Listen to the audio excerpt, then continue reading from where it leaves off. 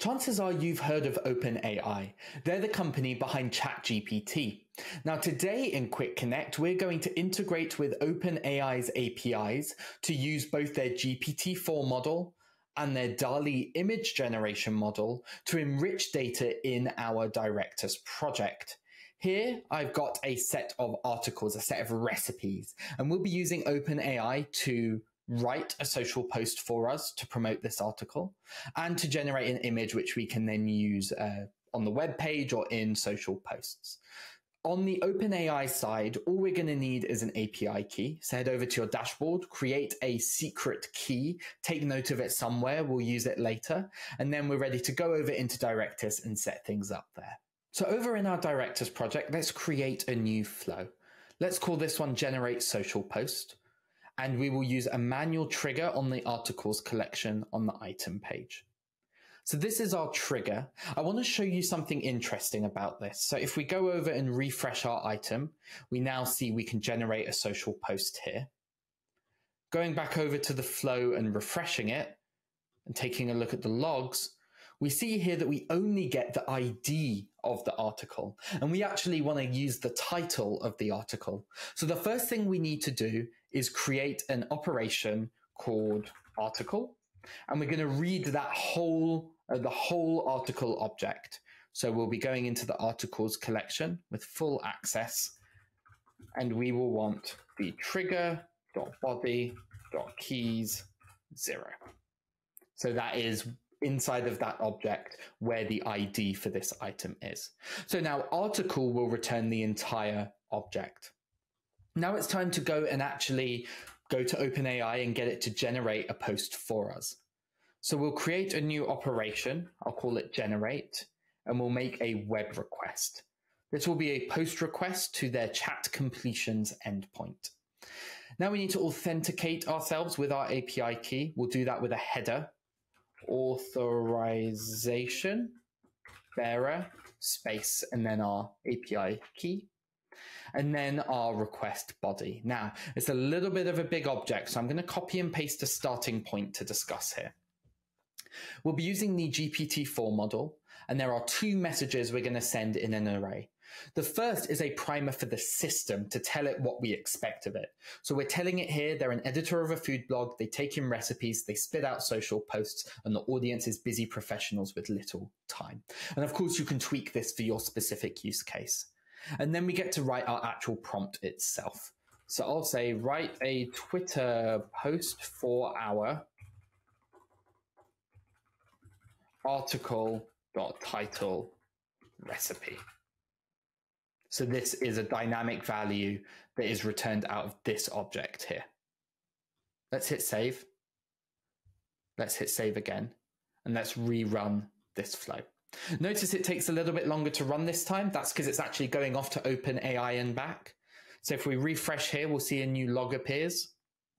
And we'll see the returned value contains a data object with an array called choices and inside of this object is a message and content. And that is a viable social post, or at least a starting point, something to help us out. So the last thing we want to do here is actually save that social post back to the item. So we will add one final operation here. We will update data.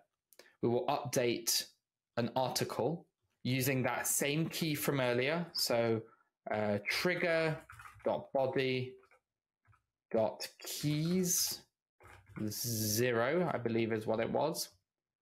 And the payload we want to send is going to be social. That's the name of the field. And the value, um, it's quite nested. I did take note of where it was earlier though.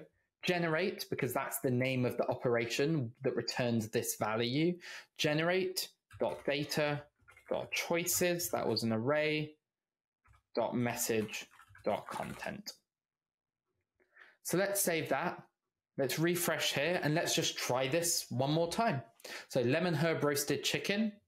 We will hit generate social post. We'll wait just a moment and we should see over there in the social box, our social post has been created. So that's the first half of what we're doing today. This is a double whammy. So now we're going to create a new flow to generate an image. So now let's create a second flow for the image generation. I'll call this one generate image. It will be a manual flow trigger again on articles on the item page, except this time we're going to ask the user for an image prompt. So we will require a confirmation, which will pop up a modal you'll see in a moment.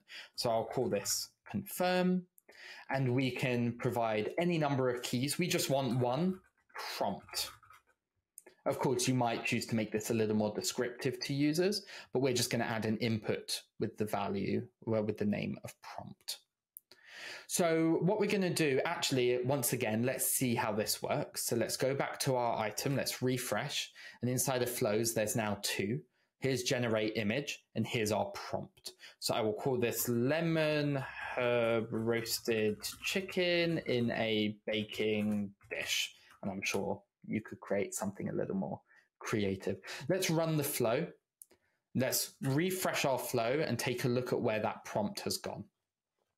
And just like before, inside of our body, we have an array of keys. So that's the ID of the article, but we also have this prompt here. So we're going to use that and immediately go off to DALL-E, the image generation endpoint, and we will um, and we'll generate an image using that prompt. So we'll call this one generate.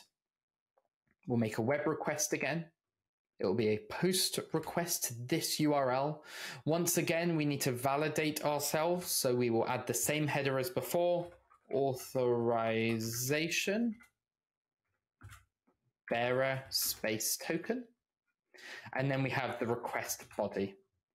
This is what the request body looks like. We pass in the prompt, we specify the size from one of the provided allowed sizes.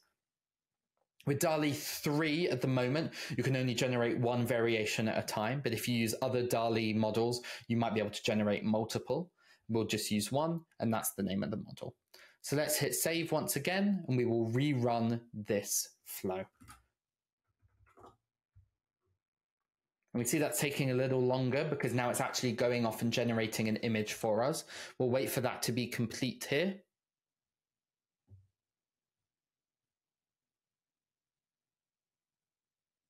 We'll go back to the flow. We'll refresh to look at the new log. And we'll see here that in the data that is returned is an array called data with a revised prompt and a URL. Now we want to import this image via URL into our Directus project. Now, flows don't provide a way to do that out of the box. So I'm actually using this lovely community, uh, community extension, which does allow us to import images from external URLs. So I will link this along with the video. Um, but I've already gone ahead and made that extension available in this Directus project. So let's add a new operation here. We will use this file import.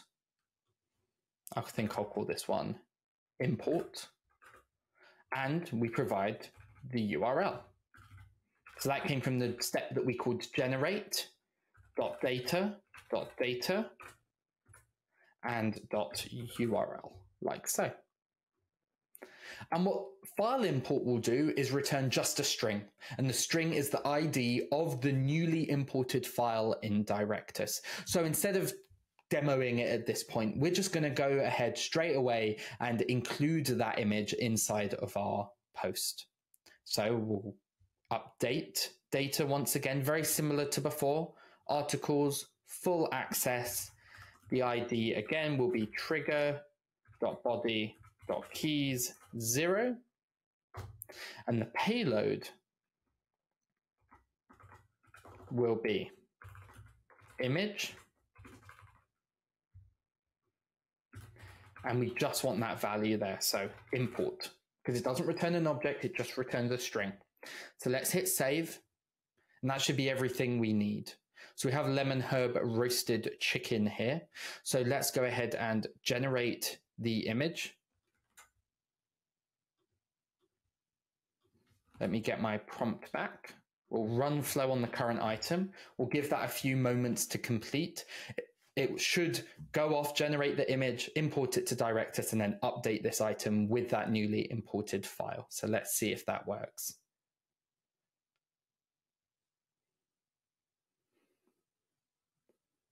There we go. Fantastic. Hurrah. So, in this episode of Quick Connect, a little bit longer, we've done two things with the Open API, uh, the Open AI APIs. We have created a flow which on demand can create a social post. And the nice thing is, if you don't like it or you don't like the image, you can just press the buttons again and it will go ahead and regenerate them. And the second one generates an image with the DALL-E uh, model. It imports it into Directus using that extension and then includes it here inside of the item. I hope you found this super interesting. I had a lot of fun putting this one together and go forth and have fun. See you next time.